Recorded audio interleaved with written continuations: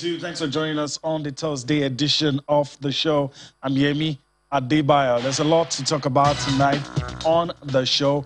And of course, uh, as I wait uh, Austin to join, let me just give you a quick rundown of what to expect on the show to tonight. Of course, we're going to be talking about the ITT African Tennis Championship.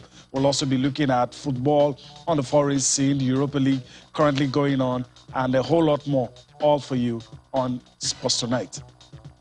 All right, so uh, Austin is in now. So, Austin, it's good to have you. For the greetings to you, Yemi, and of course our viewers, wherever they are in the world. It's good to be on the show. Yes, you talked about table tennis.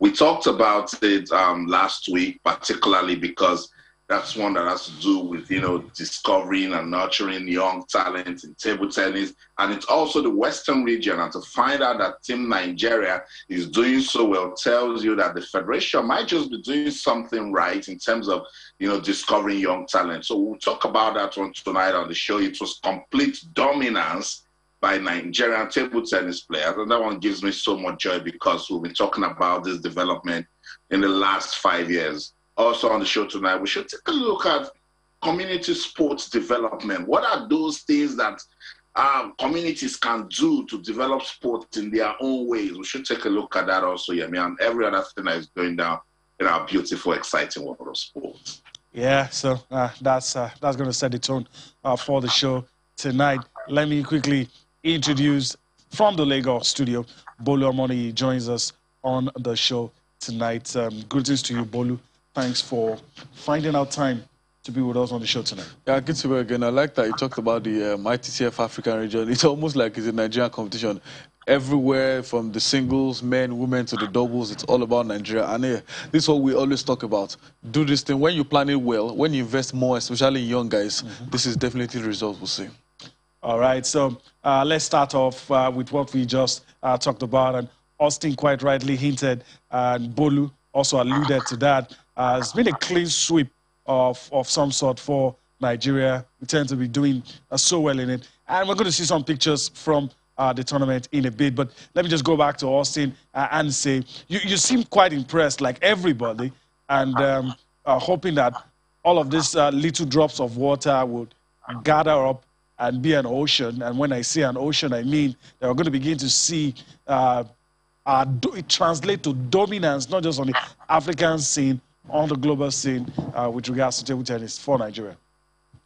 Uh, with countries such as Ghana, you know, Benin Republic, you know, and the other guys in the region trying to push Nigeria all the way. It was good to see, you know, these young guys go, you know, the distance and prove that yes, Nigeria can keep, you know, the superiority that they're enjoying in table tennis. Give us an opportunity to talk about this guy, for instance, that I've been saying, what's going on with him? Aziz Solanke, you know, come, coming back to you know prove a point that this competition is a good one. Augustine Emmanuel also doing the same thing. Amadi Omer doing the same thing. These were guys that I was talking about when I was also talking about Taiwo Mati. This sort of competition, and of course, um, be also. This sort of competition has given us an opportunity to remember these guys, see them play table tennis again, and let the federation put them in the plan. But Yemi Bolu, what excites me is the women's category. Guys, remember that in the last two, three years, we've been saying, what are the women doing? You know, the women table tennis players. Fatima Bello is proven a point. She has retained her title, and with the way she played at this competition, she has shown some good level of consistency. That's one girl right there, also, uh, Tosin Esther Oribamise. So, this is just a clear indication that we have the, the talent. We must just do what we can do to make sure that we keep these talents going. Yeah, that's it. And um, I, I, can, I Bolu smiling when you started reeling out uh, those names. And I'm hoping that the production line will be intact. That uh, when next we have tournaments like this, we're going to be mentioning other names uh, coming through uh, as well. Bolu, I know you're impressed, but uh, I mean, what can we say? Um, in years to come, do you think we will still be on top with seeing some of these uh, guys coming through? Uh, you know, how far do you think our dominance will go? Well, um, it's a gradual process. First mm-hmm. these guys did well in Nigeria. Yeah. Doing very well at the regional level. Hopefully to transcend to Africa. Yeah. And um, remember we talked about, oh, we are done with Bose Kaffo. We are done with, um, I can't remember her name, that went to our seventh Olympic Games recently. And that these women, they are getting over 46 and there about that. Who is coming up next? Seeing the likes of Bose, seeing the likes of Fatima Bello, we have hope that, okay, we can get there. I, I just hope after these guys move ahead from these regionals, we won't be like, well, they've done their best. Let's wait. No, we shouldn't wait till the next event. We should keep training them. We should keep giving them every possible best. I remember Training, what grants. Yeah, trainings. I remember what uh, one of our representatives, said at the Paralympics that what he saw when he started going to the Paralympic Games is completely different. The young guys are using modern equipment. That's what we want to see. If these guys train with the modern equipment, maybe there's a different type of bat they use now if we don't learn, if we don't get used to those things, it's definitely going to be a different ball game at the world level. So these girls have done well. The guys as well. They've done so. Uh, the finals were Nigerians against Nigerians. Singles, double, were facing each other. Yeah. And if we bring all these guys together, because I lost the final doesn't mean I'm not good enough. So if we harness these talents, we'll bring them together, train them well, who knows? We may be thinking about, yes, we've forgotten about Toriola, but we have new guys that are doing well. Look at what Omotayo is doing for himself now. We need to make sure these guys don't just go and our table tennis is gone complete. So kudos to the organizers, kudos to those guys that brought these uh, people together. Hopefully it continues from there to the next level. All right, uh, Bolu is saying keep them busy, give them the grants, give them the exposure, and before you know it, uh, we're going to have these guys continue to dominate. All right, let's take some reactions from uh, this event. Uh, of course, uh, we'll come back and talk some more on table tennis in Nigeria. Because the tournament wasn't an easy one. So because everybody has come from all over Western region to represent their countries. And firstly, I'm so grateful to have represented my state and my country rather. So it's a privilege for me. And winning the tournament also, I think I worked for it. I worked for it because it, since they told me that they will be having this tournament will hold and they told me that I will be representing the country that among those that we represent. So since then I have to double up my training. Though I've been training before, but I have to double it up so that possibly I can become victorious. But now winning the tournament, I'm very happy. Meeting him firstly in the final, I know it's going to be a tough game because even the ITTF tournament that was played in July that I won, I also met him in semi-final. It was same way, this way. He was leading me 3-2 before I now came back to meet him 3-3 and I later on. So even meeting him now, even in this tournament also, this is the third time we'll be meeting. In the group stage, in the team event. So I meet him, so I won. So we both qualified from the group and we later won all our matches. So we met in final also, in the team final. So he has to win. That was yesterday. I won him day before yesterday. And now again meeting in the singles final. I know it's not going to be an easy one for me. But I thank God that I won the tournament. I'm very grateful. Because I used I used to train every time, so it's not the game is not a big deal for me to play. Like it's not that much for me to play. Because I used to train, so I'm used to it. I feel very happy about it. Though I was expecting it because I've been training for the competition, so I was expecting a good result. So I'm happy about it. All right, you listen to Real Akombi, uh, the men's singles champion, Fatima Bello, the women's singles champion, all bearing their mind, and of course, very happy and elated that it turned out that um, they won uh, the tournament. All right, we need to go for a quick time out. Uh, we're going to take a time out. When we return, Austin hinted uh, about community development, using sports, and all of that. We're going to go into that when we come back from this time out we're about to take to get into that discussion.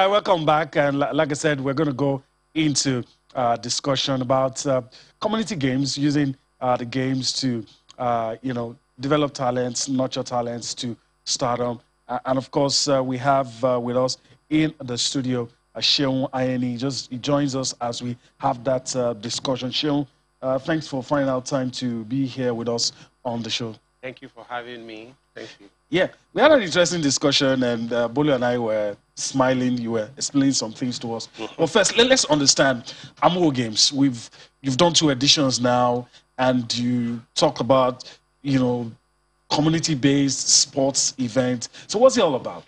Uh, yeah, you know, Amuwo Games started uh, started as a reaction to something. So there was this election in 2017 that, that didn't go down well with people. And so, you know, you know, Amuwo is a bit um, not one-sided. So it was getting heated up, and we're seeing the energy of the youths buzzing. So we thought of it. What can we use to distract, or rather engage these youths? Let's try take their focus, their energy, and put it into something positive. And what we came up together with, we, we I and a group of friends, we came up with um, sports, and that's how Amuwo Games was born. You know, we, we said, let's use sports to make people use their energy in a positive way. So we came up with sports. We wanted to make it a football competition. Then we thought of it, okay, not everybody likes football. So why not include other sports? That's why we went for 16 more sports. No, 15 more sports, and we made it 16 sports. That's 16 tournaments. We had football, basketball, volleyball, chess, Scrabble, swimming, and um, in some um, the, the, the, second edition, we even started adding more games. We added the cycling tournament in 2019. And now this is 2021. You've held two editions now. Yeah, the first one was in 2017. Then we had one in 2019, which was where we added cycling. Now we are adding um, five-a-side soccer tournament in 2021 because we have to improve every every time we do what it. got my attention um, I'm, I'm, about to bring in um, austin but but let me just ask you this what got my attention is the fact that uh, it's a non-profit initiative yeah. first and the fact that you engage all the youths in the community those two things are like two parallel lines how you make it work is what i'm interested in uh, yeah you know the division the vision was born out of that that place so it's easy for us to achieve it. We, we, we came together, like I said, as a group of youths. So we know ourselves. We said to ourselves, let's do this thing. And so we started bringing our monies from our pockets, you know, individually. Okay, who knows how to um, officiate football? Who knows how to do this? But then we now even went further. We went to Lagos State Sports Commission to get their endorsement, to get their support. Then it was being led by um, late Deji Tinubu. So we got his support and his team went with us to help us organize the first one. He gave us the officials from each of the sports, you know. So it was easy for us to, to actualize these games. And it has been easy since then. Okay, uh, all right. Um, I'm very sure Austin asked, asked a question or two uh, as well. So, Austin, the floor is yours. Uh, Sheun, good to have you on the show. I remember we, we had this conversation in 2019, and I yeah. must say, well done with what you're doing. Uh, Sheun, what's been the level of response from the people of Amuwo Odofin as regards uh, this, this competition that you put together? Amazing. I tell you, amazing. In fact, before we brought out any form of advertisement this year, I mean, around September, we already had 400 registered athletes from our wow. registration portal. Then after the announcement started, of course, you understand the, the thing went, I mean, the, the, the, registration went exponential. So, so, yes, the response has been huge. People are in different groups now discussing the games. We split them into the different WhatsApp groups for their teams. Of course, we splitted everybody into eight teams. You know how we did in 2017. According to where you live, you get zoned into your own team. So from your own team, we created a WhatsApp group for you you go and discuss with your team members. So everywhere is just buzzing. The whole of Amuwo is talking about Amuwo games right now. Awesome, beautiful. And these pictures, uh, you're giving me a very beautiful feeling because I grew up in this area in Festac yeah. We call this we call this Suki. You Suki know, where we play this basketball, also play five aside. But which of the sports has really, you know, particularly seeing young kids, which of the sports has has gotten um, the level of um, participation that you can call encouraging? Ah, for for me, I think chess. I didn't know a lot of kids like chess. I mean, the on, we we some of our games are age graded, and one of them is chess. Chess is age graded. We have the under 17, we have the under 13, and we've seen serious participation in the under 13 categories for chess, and then swimming too. Swimming has been impressive too. Okay, um, so uh, I also I also want to ask this: You while we're having this chat before you, you came on, Yeah. you said you're looking beyond where you are, where you currently are now, Mhm. and you're thinking of going because of the success of what you've done Yeah. in Amuwo, You're thinking of going to other communities as well. Yeah, so so maybe not even me. Maybe maybe we just want other communities to replicate what we're doing. So of course, if if you if if you are strong enough and you want to do it, fine. Why not? Let's replicate it in every community in Nigeria, and, and we'll see what grassroots grassroots sport can become. Um, if you need us to get, get our templates to use our templates for you, we can always come around. But then we want to encourage every community in Nigeria to emulate this. Yeah. Okay. Um, let me allow Bolu say something as well. Uh, you you were listening to everything he said, and it's a novel idea, really. Well, I know how difficult it is uh, planning things that has to do with young people because I've worked with the Asisat Oshoala Foundation and my church also did grassroots. So I know how difficult it is, and I know it's always beautiful when you see the success stories, especially when you see young people, probably one or two persons that pass through you, that you see them maybe with the national team or doing good um, here and there.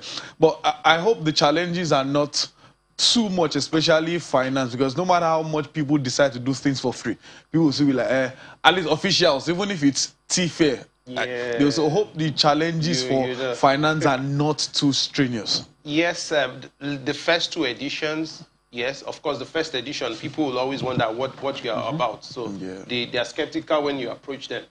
But the second edition, okay, they watch you again, like, okay, let's just see what they will do again. So those first two editions were a bit stressful. This third edition, we've had support from community members Right. and some some bodies. Yeah, people have personally come Okay. out to say, give, take this and use it for Alright. the games. You know. I'll bring my community to challenge them more. Don't worry. okay, all right. Uh, we need to go on a break right about now. Interesting discussion we're having on uh, uh, grassroots sports development using uh, talking about community games. But we need to go on a break right about now. When we return from that break, still so much for you on Sports Tonight.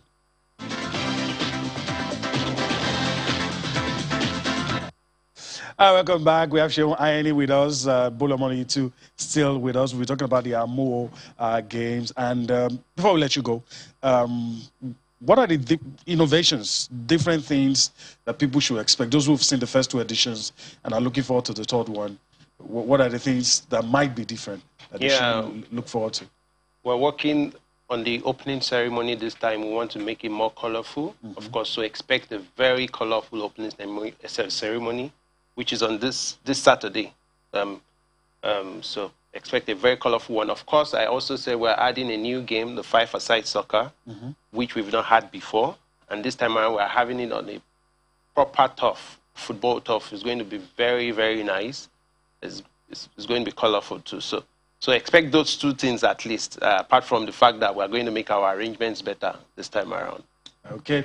Uh, I want to thank you for your time on the show today and uh, wish you well in all that you do Thank you. to develop sports. Thank you very much. okay, all right. So uh, we're talking about um, the Amuwo Games. We're talking about uh, community-based sports uh, development initiatives. We need to take another time out, and when we uh, come back, we want to quickly uh, talk about what's going on in the Europa League, how uh, Super Eagles players, you know, fed what happened. Uh, so we'll talk about all of that, but take a quick time out and uh, come back for more.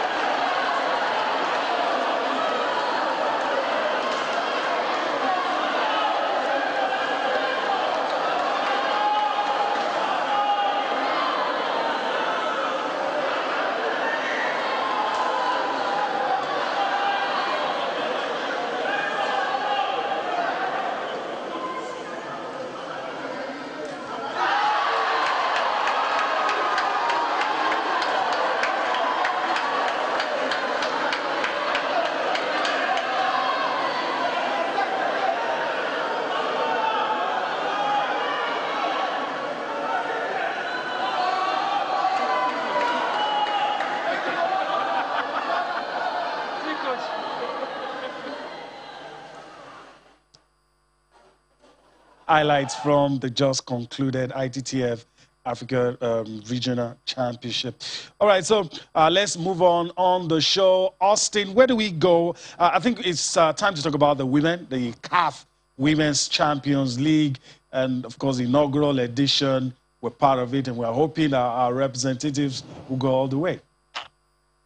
I love it. And um, Rivers Angels, they are already in Cairo. Uh, it's the maiden edition of the CAF Women's um, uh, Women's Cup of um, CAF Women's CAF Champions League, Women's Champions League. So we need to really get into this because it's new. I was uh, on Twitter Spaces uh, with um, uh, organized by the Confederation of African Football and former Nigerian uh, superstar Mercy Akide was there, and she said something very important. She said this sort of competition will make countries take club women's football very seriously. And I totally agree because now this is a big deal. Teams want to prepare properly, you know, get out there, play with the best teams in Africa. It will open up opportunities for, for the girl child. It will make um, the administrators of the sports in the on the continent to give it the same attention that uh, we receive uh, from the men. So we've got the men's CAF Champions League and CAF Confederation Cup. Now we've got the Women's CAF Champions League, and it's such a delight that Nigeria has a representative in Rivers Angels, uh, a team that has, you know, pushed and through the qualifiers. I mean, I was impressed with the way they, you know, made their way to uh, this stage where they are in Cairo. So just want to wish Rivers Angels all the best as they start their campaign in the CAF Women's Champions League. All right, and um, I, I, do agree with you. They're not, they're not lacking in motivation at all. We're wishing they go all the way. Let's quickly show the fixtures. Uh, they, they, begin their campaign this weekend. So let's show uh, to our viewers the fixtures of the matches that they will, uh, Bolu, on your screen. You have uh, the hurdles they have to cross Saturday, uh, November 6th. They will be up against Asfar Club. Uh, of Morocco. They'll be up against Ma- Mamelodi Sundowns, uh, club from South Africa, and Rivers Angels. They will also be up against uh, Vihiga Queens, uh, a team from Kenya. So uh, you, you, can also see some of these uh, illustrious big clubs have a women's team. So when you see Rivers Angels and Mamelodi Sundowns, it's not the men's squad. But um, I mean, tough, tough. These hurdles are really strong hurdles. Well, well, on paper, you should expect on paper Rivers Angels to go through, but like what we've seen even from the national team, everyone has grown past what we saw the last. I just hope, first off, the distraction of their coach being discarded for Falcons will not be, affect them. Mm-hmm. But aside that, I, I think um, they know the hurdle, they know what's at stake. Remember, they lost the final game in the regional. So I'm sure they should know that everything is not a walk in the park. So I, I, believe Rivers Angels should be well prepared for this because remember, the governor of the state gave them a promise. If they mm-hmm. qualify, their life will change. and I'm sure their life will probably change for more yeah. if they win this event. So they, they know what's at stake, they know what it means. And the, if they win this event, there's a better chance of some or more of their players getting into the national team, the Super Falcons. So I believe they'll give it everything. I believe they'll give it a go. They'll give all they can. I wish them all the best, but no hurdle is easy. From the success or successes we've seen with Mamelodi Sundowns, the male team in recent years, I, am not sure anyone wants to underrate the women's team. I don't think anyone will. So I think they know what's on ground. I think they know what to do. But like every tournament, the first game is always very, very mm -hmm. important. Pick all three points if possible, then you gain confidence to go through the rest of the tournament. All right. Uh, uh, I say again, uh, our best wishes to Rivers Angels. Hopefully, they'll get uh, the job done. All right, Austin, still talking about uh, the girls, the ladies. Uh, let's talk about uh, Coach uh, Christopher Danjuma um, inviting 31 players into the Falconets squad uh, as they continue uh, their campaign uh, for a slot at the FIFA Women's World Cup. And, um, you know, it's easy to want to take it for granted that at this level, the gap may be closing at the senior level, but at this level, maybe, maybe, maybe no African team comes close but there is a danger of getting complacent. Yes, yeah, I mean, and, and this is the stage where we can use to uh, we can use this level, the Falconets level, to make it formidable at the Super Falcon stage because the players you get here, they get to aspire to play at the top level, which is the Super Falcons. But shout out to the Falconets uh, for getting to this stage of the Women's World Cup qualifier. Um, I, I, I, don't have any, any, any fears about them, you know, qualifying. Uh, what I want to see is the level of consistency that is shown, and of course, you, you just use the word that at this stage they, they can't afford to be complacent. Yes, they cannot afford to be, so they need to keep keep it going. Coach Christopher Danjuma has done very good with this team. I'm not sure with the players that he has invited, you have a good look and see uh, those players that will be good enough to, you know, to make it to, to the final uh, stage uh that you would want them to be as regards qualifying for the for the Women's World Cup.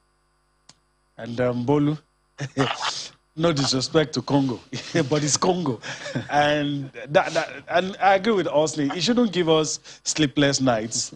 Uh, but then again, when you invited one players uh, to camp, it shows the coach wants competition, and um, I always I always like it at this level. And the fact that we could call up 31 female football players at under 20 just shows the abundance of talent at the disposal of uh, anybody who is the coach of the Falcons. And to even make it better, uh, most are underage for men many or most of the players we call or the boys we get are always from academies. Mm -hmm. Yeah, this, but these girls are playing for club sides.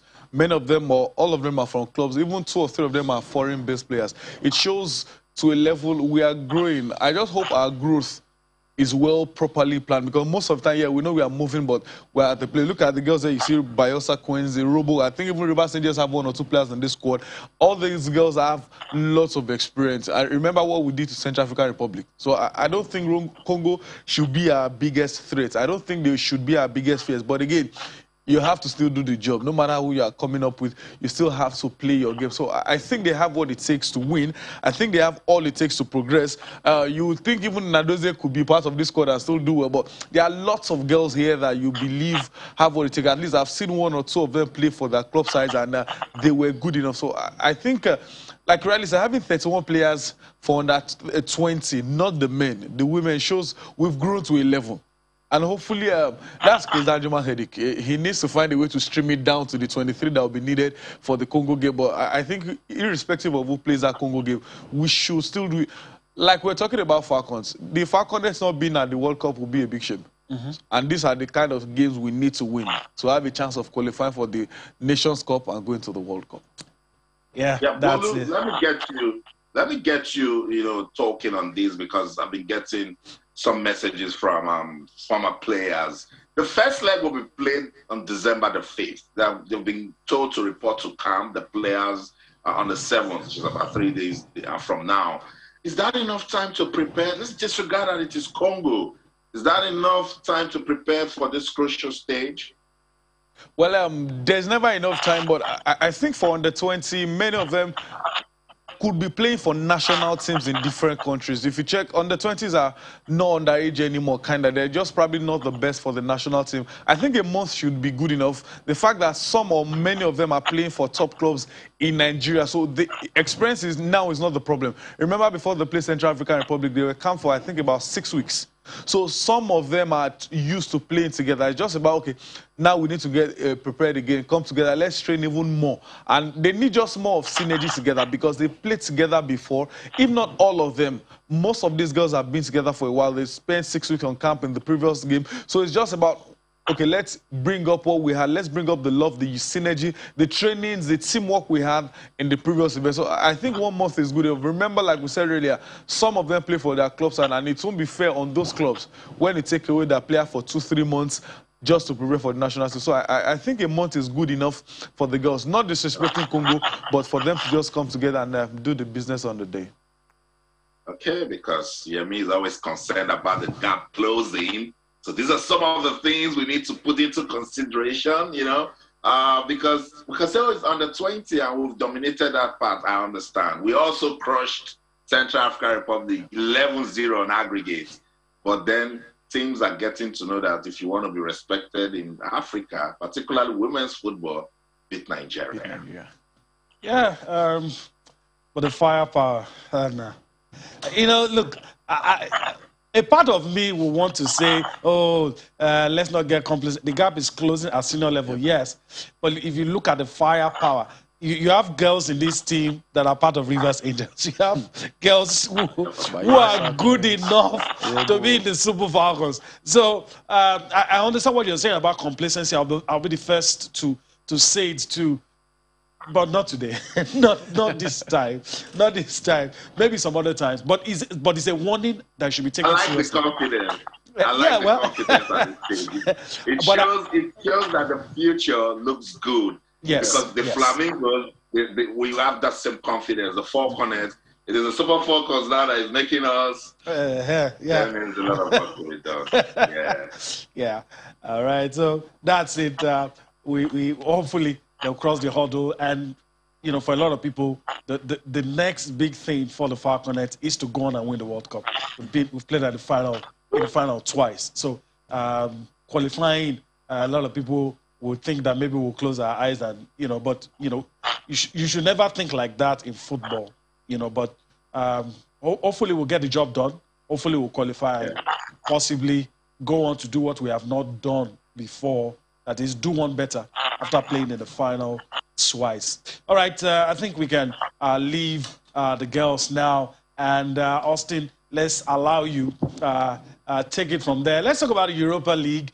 And um, right. I, I was, uh, you, you caught me trying to check up on Antonio Conte and Tottenham. Uh, I wanted to see how it would start, but but it appears like it's a good start. It's last time I checked, they're leading three-one, and also there are some results involving uh, Nigerians. Leon Balogun scored an own goal, but luckily his side were able were able to uh, you know claw their way back into it. So uh, take us through some of these uh, results. Yeah, you know, I mean, these things happen with, with football, particularly with defenders. Talking about what happened with Leon Balogun and Rangers, they scored an own goal, but they didn't lose that game against Brøndby, and um, it ended 1 1. Lyon defeated Sparta Prague 3 0. Rangers was uh, lost away, lost at home to Napoli. So Napoli without Victor Osimhen, they were so good in winning that one 4 1. But this is the thing for me West Ham and their run at the Europa has been nothing but impressive, you know, going away to, you know, to Genk to, to play 2 2. In fact, they were running off to win that one 2 1 until Soucek scored an own goal and then it ended 2 2. Otherwise, West Ham would have been traveling back to England singing and dancing. Monaco and PSV played a goalless draw. It's the Europa League selected results. A lot of games still going on. Um, we'll continue to monitor it and I'll, I'll give our viewers live updates. But Bolu, let me get you talking. I saw some more results. Real Sociedad won, Aston Grass 0. Olympiacos lost at to Frankfurt 2 1. And there's Leicester City and Spartak Moscow. I told you some games still going on. That game is still live. We'll continue to monitor it because we've got a Nigerian interest in that one. Marseille one, Lazio zero. Ababolu, um, what what's your take about West Ham so far in the Europa League? Well, um, first of the uh, Real Sociedad game ended 1-1, um, uh, not 1-0 for Sociedad. But for West Ham, I have a West Ham friend.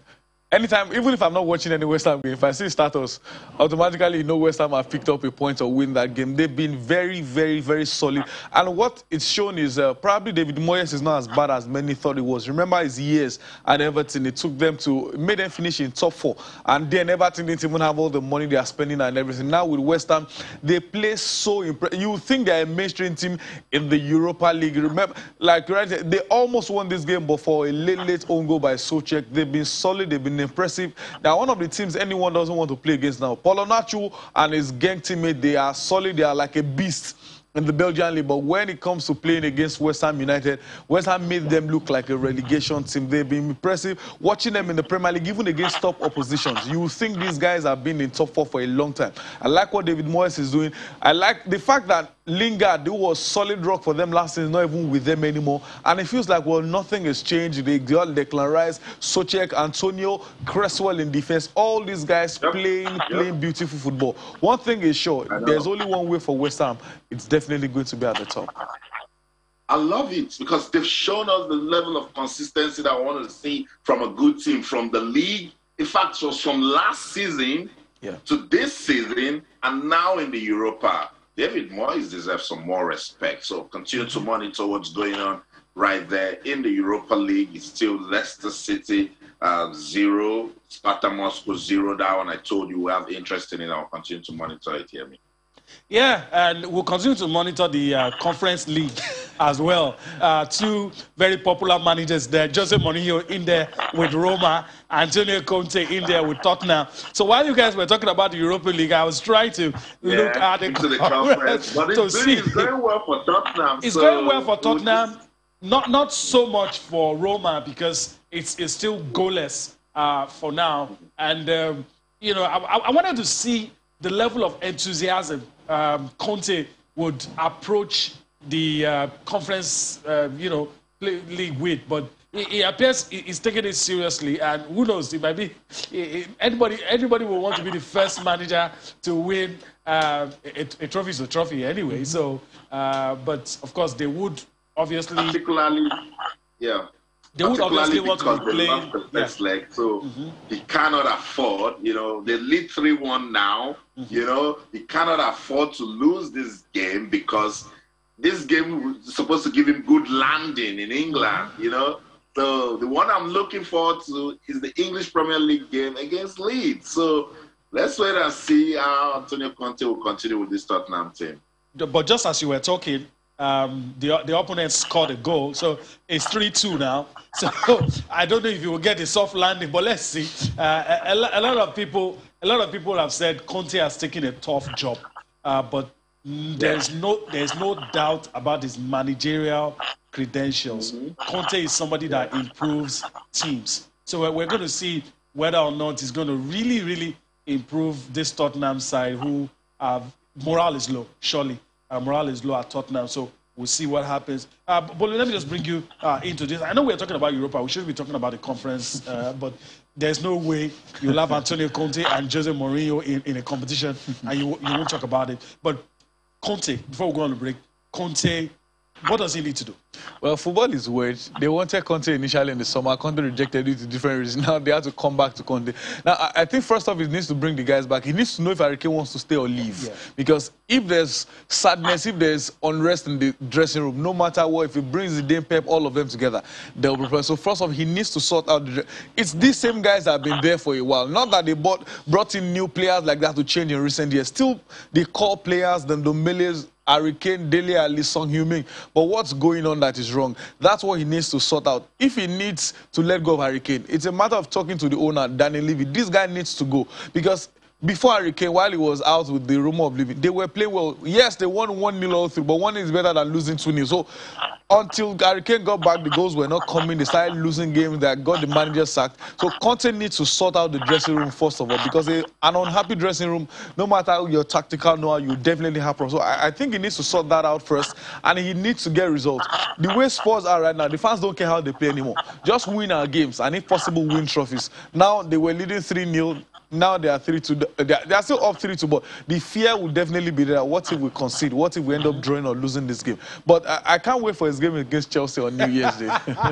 That's going to be very interesting, by the way. All right, we need to go on a break. Uh, when we return from that break, we'll talk about the Barcelona situation. And of course, if time permits, we'll take a look at what is happening at the Paris Masters.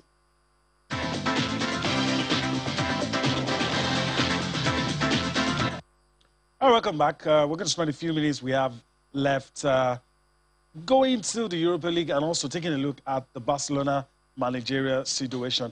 Uh, of course, it's no longer news. Uh, Barcelona have showed their hand. They want the club legend Xavi Hernandez back. Al Sadd, the club in um, uh, Dubai, still holding on to the player. And um, let me quickly go to Austin. And uh, it's an interesting situation.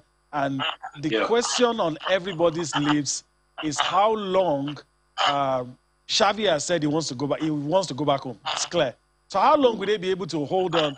It, it looks like it's inevitable for Xavi to be back uh, at Barcelona, but contract issues, negotiations, still they've not really sorted all of these things out. And the, and the Barcelona legend has said, look, it's between the club and um, his, his, his, his current employers and Barcelona to Yeah.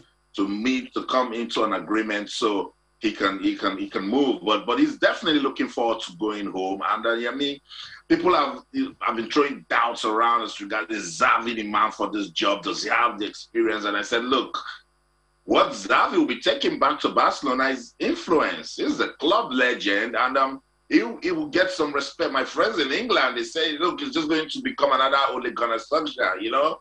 But I don't think that will be the case. I, I think Xavi Xavi's mind is in this job, and that's the mentality he's going to take into it. And um, there's this joke I always tell people that anybody can coach Barcelona or Real Madrid. You just need to have basic coaching experience, you know, because those are super teams in Spain. But uh, football is changing. 99% of the game is played in the brain now. So um, I like Xavi. I, think he's got what it takes to, to get the job done. But for now, uh, the negotiations are still ongoing, and uh, hopefully they'll get it sorted and, and the decision will be made. Yeah, uh, we're waiting. Bolu Pep Guardiola has come out in the defense of Xavi, and one of the things Pep Guardiola said, Xavi, as he is now, has more experience than he had when he was given the Barcelona job. I don't know if he just said that, but some people say what, what he said is true. Well, we've seen things like that work like with Pep himself. We saw it work with Zidane. But at the same time, we've seen it turn out the other way. Disastrous. Like uh, Austin's friend, Ole Gunnar Solskjaer. and so it, it, sometimes those things you never can tell until it happens. Xavi, like what Bruno said last week, that Xavi is well respected at the club. He'll bring calm, he'll bring nerve. Okay, at least everyone will calm for down. a while, even if the results exactly. are so not going, if the results are not, the first thing will be what will be their target. Is Xavi coming to just stabilize? Because La Liga is still not far gone. It means they still have what it takes to win. So it depends on what it brings. One of the things the fans want at first is 4-3-3. They don't go back to 4-3-3 and let's play. Possession football. Then over time, we can now start thinking, okay, our play is getting better. We're scoring goals? Oh, we are scoring goals. Can we stop conceding goals? We stop conceding. Can we start winning? So Saudi Arabian League is completely, or Qatar is completely different from what is happening in Europe. And whatever is happening everywhere in Europe is completely different from Barcelona. So, but one thing is sure, if or when they sign Xavi, they will be calm. The fans, they would love to welcome their legend back. I won't be surprised if Xavi decides to bring some of the one or two of his old teammates, maybe bring Iniesta, come and join me. So those are the right steps that could help him settle down for us. You know, come back in La Spain. I tell them Madrid, Barcelona, there are three trophies they're fighting for Spain: the La Liga, the Copa del Rey, and the Clásico. You must not lose all. If you lose everything, you're definitely in trouble. The Clásico loss was one of the problems Koeman had. Mm-hmm. Then losing. So I, I think Xavi would bring, and if nothing, he'll bring calm. But the question is, how long will the calm take before the fans start talking? But like Austin as well, I think I like Xavi. He's one of the players that is probably not well respected as he should for his gameplay and everything. But a great footballer does not necessarily mean a great manager. Yeah, um, that has been proven time and time again. A great footballer doesn't necessarily translate to a great player. But the question uh, both of you have not answered is current employers how long can they delay? Because it appears like the, the only thing they're saying is this guy has a contract. That's the only thing we're going to tell you. Al Sadd just just want to be in the news, and they've been getting media mention. You know, they can't hold on to the guy for so long. And has said it that it's just out of respect because he can just take a walk. You know I mean? It, it, look, it's very positive about this Barcelona job. It, it's it's flattering that Barca even wants him, and with what he has given to the club, he cannot say no. He's Spaniard, also. he can never say no. So um, this is not player and club situation. This is a coach. So maybe he might just he might just tell them, okay, if you don't want to let me go, I'll take a walk. But um, I love what he has done, and that's why I like Xavi. I said, look, I'm respecting my contract with this Saudi Arabian club, so let Barcelona and Al Sadd, you know, solve their issue. When they've done that, it's up to me to, you know, now step up to take the job. But he's looking forward to the job, and he says um, he's very positive about it, and that's the mentality I, I think he should have. All right, that's a good place to uh, leave it uh, on the show. For first, I want to thank Bolu Omoni for his time on the show uh, today. Bolu, thanks for joining us. Hopefully, we'll do this again some other yeah, time. sure. Always pleasure being here. All right, that's the show. We we do hope that you've enjoyed everything we've been able to do today. Uh, of course, we'll be back again tomorrow. Another hour talking sports from Lagos. I'm here by the bye. Bye bye now. That's the show. Thanks so much for watching. Let's do this again tomorrow. But until then, in London, I'm Austin Okon-Akpan. In everything you do, remember, keep talking sports. Bye for now.